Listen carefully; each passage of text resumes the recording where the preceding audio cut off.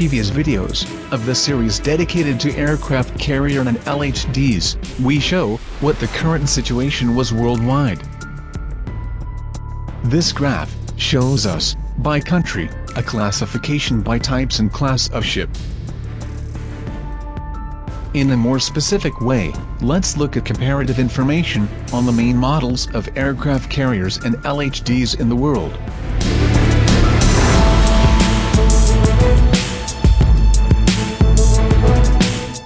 Apart from the enormous cost of the American and Russian aircraft carriers, the rest does not reach 4,000 million euros.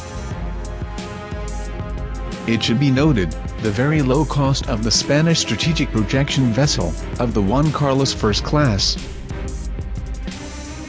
Of this great ship, four units have been manufactured, with a unit cost of only 400 million euros. Let's look at other important data, about such large ships.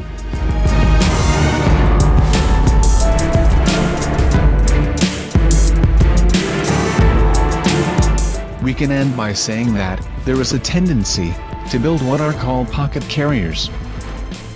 And the existence of airplanes, such as the vertical takeoff F-35B, and the naval F-35C, have strengthened this possibility.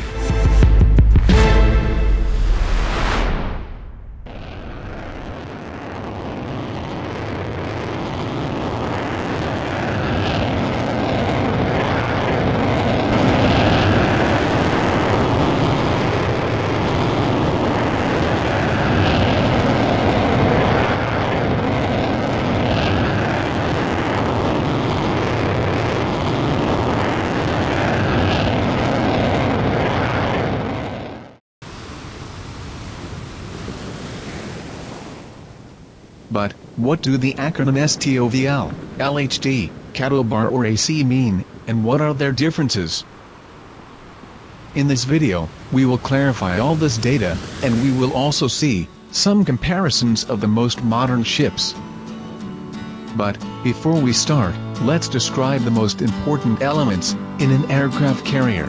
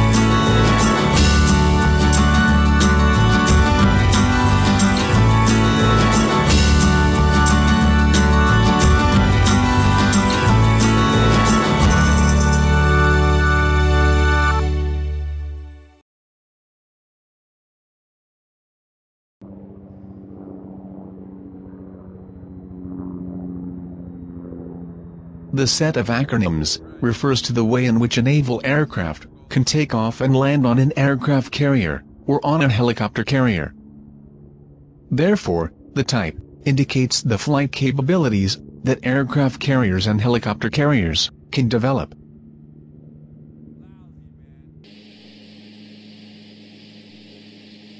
Specifically, the CATOBAR type indicates that it is an aircraft carrier that has a catapult system to help in the takeoff.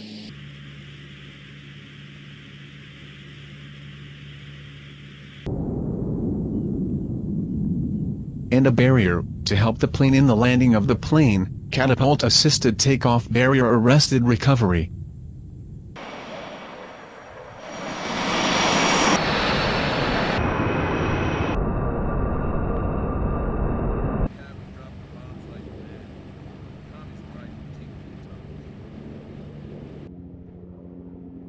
As we can see in the image, these are the only classes of pure CATOBAR aircraft carriers, currently active in the world. In this CATOBAR type, aircraft carriers do not have the usual ski jump system, which we will see in other ships of other classes. That is, only the American and French aircraft carriers are exclusively of this pure CATOBAR type.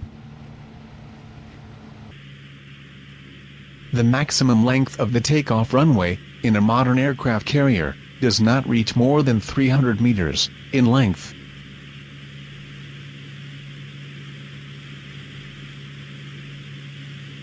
Therefore, a naval plane loaded with fuel and ammunition could barely take off in this short space.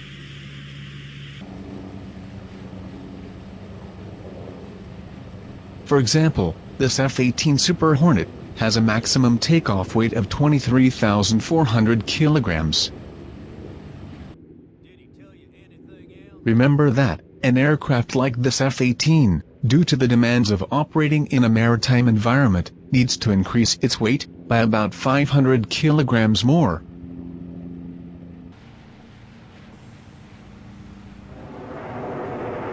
And let us also know that this F-18, fully armed and loaded with fuel, needs to take off a minimum distance of 1.2 kilometers.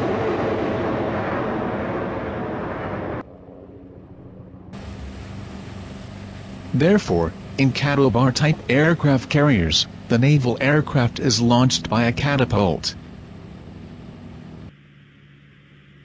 It consists of a track, built into the flight deck, below which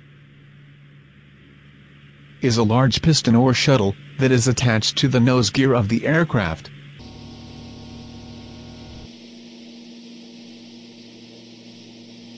This catapult bridle is attached to the aircraft, and the catapult shuttle.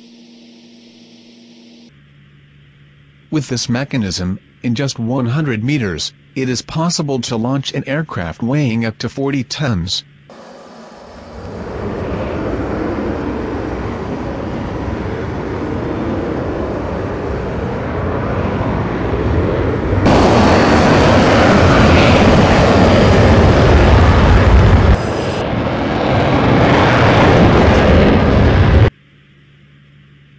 But it also has its drawbacks.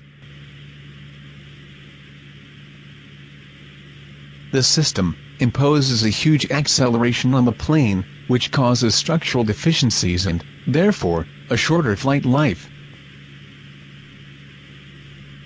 And it has a percentage of error, at launch, between 4 to 6 percent but it has been the usual system on a CATOBAR type aircraft carrier. In the image, we see the catapults, four, of the Nimitz and Gerald Ford classes, although two of them interrupt the landings, when in use. Instead, on the French aircraft carrier Charles de Gaulle, we see only two catapults. For that reasons, the U.S. Navy is developing the use of newest electromagnetic aircraft launched systems, EMALS,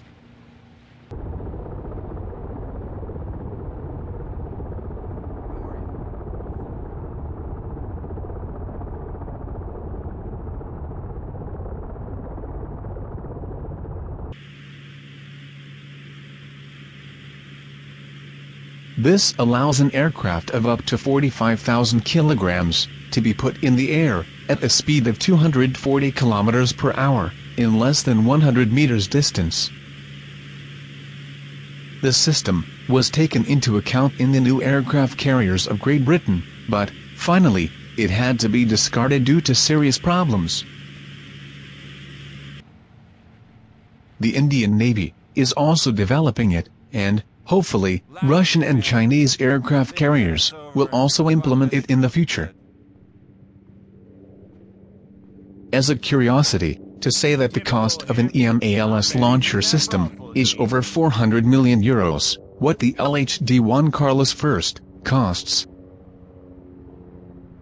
And a serious problem, if an EMALS launcher fails, the other EMALS aircraft carrier systems are out of use at the same time.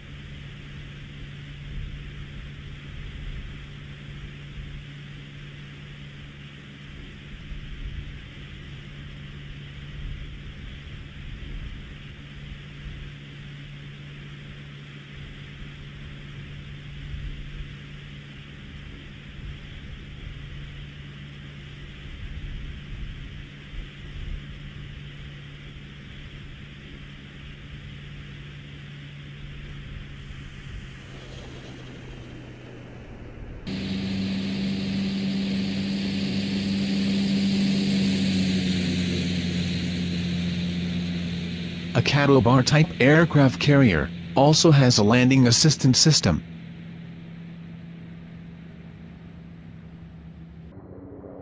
It consists of a succession of up to four braking cables, three in French aircraft carrier, to which the hook that the tailplane has to be attached.